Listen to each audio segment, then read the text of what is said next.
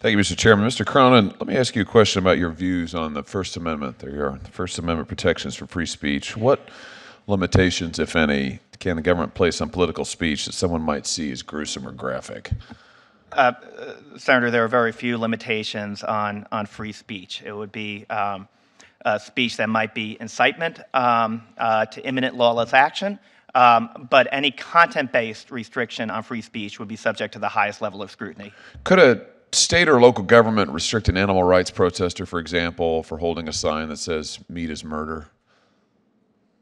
Senator, I um, would want to think a little more about that, but uh, my, my sense is based on those facts alone, alone um, it would be hard to restrict under the First Amendment uh, that sort of sign. What meat is murder? Yeah. What about? Uh, it's going to get more interesting. Just stay with me, Senator You Kennedy. know, uh, what? What? K- Kennedy Hawley spent time up at Ye- up at Yale with those communists. What if it had? What if this same sign had a a picture, a graphic picture of slaughtered animals? Could that be restricted? Um, well, well, Senator, I think the, the, the standard I would apply is um, it, it most likely would come into the form of maybe an, uh, arguably incitement, and, uh, and it, that would not seem to rise to the level of incitement. Does the answer change if it's a pro-life protest that includes graphic pictures of abortion? The a- answer would not change on the subject matter. So, what are the constitutional rules then you would apply when determining whether somebody's graphic speech is constitutionally protected? Well, I would consult First Amendment jurisprudence, and it would depend on the nature of that speech to see which of the standards falls under it. Um, but regardless of which of the standards, if we're talking about a content-based uh, regulation on speech, it would be the highest level of scrutiny. You understand why I'm asking these questions, I assume. Certainly. Yeah. Do, do you want? I mean, given what you've said in the past, your past writings, which I think are frankly a, a little bit alarming on this issue, uh, particularly as it relates to, to pro-lifers and the pro-life movement. So maybe you'd like to address that more broadly. Well, well Senator, I believe, um, uh, and, and I'm happy to do so. Um, I wrote a note uh, in the Yale Law uh, Symposium on Law and Technology uh, discussing the Nuremberg Files website, which was a website um, back at the time, I believe this was my first year in law school, so it would have been 1999, um, that listed abortion providers on the website um, and uh, um, uh, with personal information and had blood dripping down, and when someone was harmed or murdered, it would be indicated on that, that site. The position I took, however, in my note was that that website was protected under the First Amendment.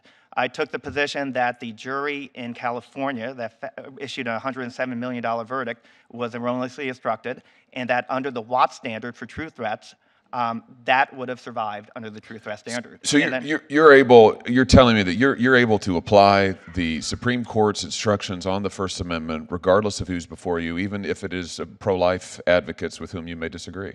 Without question, Senator, yes. Um, And, and, and Senator, I, the last part of your, I started to answer before the last part. Uh, it, I, I just don't want to comment about who I would disagree or who would not. Yeah, I don't know what your views That- are, but I just want to make sure that whoever, and frankly, I don't care what your personal views are, but I do want to make sure that if there are litigants before you, that you are able to apply in an even handed manner the very clear instructions by the United States Supreme Court on the First Amendment. You give me that commitment? Senator, you have my assurance that my personal views would have, have nothing to do with my decisions in the case. It would be bound Good. solely by precedent and the law. we may have occasion to talk further about that. Judge Togliatti, let me uh, ask you. Um, I, I need to revisit. I know Senator Cruz uh, uh, mentioned this, but uh, I need to revisit uh, the Nevada Supreme Court's uh, unanimous uh, rejection of unanimous overruling of a case of yours, and this uh, talk about inherent authority of, of judges. Do federal judges, federal judges now, do they have inherent authority to enjoin state actions without authorization from statutes or the Constitution? in in um, in that circumstance were that issue to uh, come before me, I would take the opportunity to review all precedent, the court rules, and the Ninth Circuit, and um, in light of my familiarity with uh, those issues, I would suggest to you that that is a um, um, rare circumstance. What, I, I can't I can't think of. what do you mean by rare po- circumstance? You rarely confront the issue? Uh, No, that, that, that would be something that would not be undertaken lightly, and I'm, I'm trying to. uh, Or you'd only rarely issue, you'd only rarely exercise such quote unquote inherent power. I- I'd have to know where the authority comes from. Does it need to come from the statute or does, is it inherent in Article 3? Well, Let me ask this a different way. Can you can a court bind parties that are not before it? Could you, as a federal court, a federal judge, do you have the inherent authority under Article Three or elsewhere to bind parties who are not before you? I believe that's a, a hot button issue that's being litigated at this time. Well, why don't you tell me what the Supreme Court, the United States Supreme Court, what's your understanding of the Supreme Court's instruction on this? Well, I, I know there that national uh, injunctions, for example, that have come up this morning ha- are being considered. Um, you know, as my fellow nominees have indicated, and I agree with them that I would have to uh, follow Rule 65. What about the Supreme Court's instruction in Gill versus Whitford from 2018 about what district courts have the power to do for parties who are before them? What's your understanding of that case? Well, excuse me.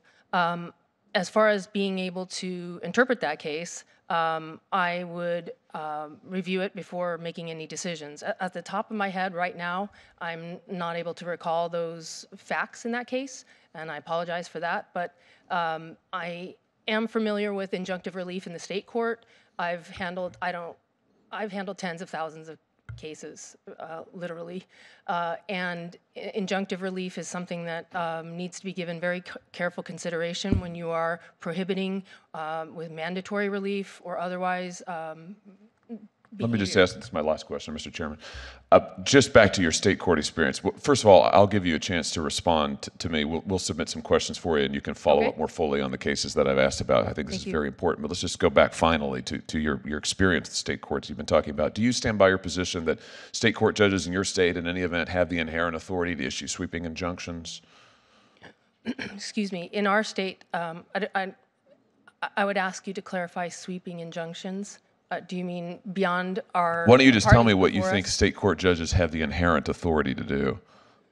Well, to, in general, um, for example, the case you mentioned earlier, the Attorney General for the state of Nevada, um, as, through the Solicitor General, argued to me that, uh, that I had the inherent authority to, um, uh, to manage the enforcement of a court order, of my court order. And so related to, to that specific issue, that was what is, was in play in that case. A- And do you, do you stand by the, the ruling that you issued in that case? Uh, Senator, no. The Supreme Court reversed me. Uh, the matter was returned back. I signed the execution warrant and proceeded forward with the case. They um, made a decision uh, that I uh, accepted and followed and respect. All right, thank you, Mr. Chairman, for letting me go over.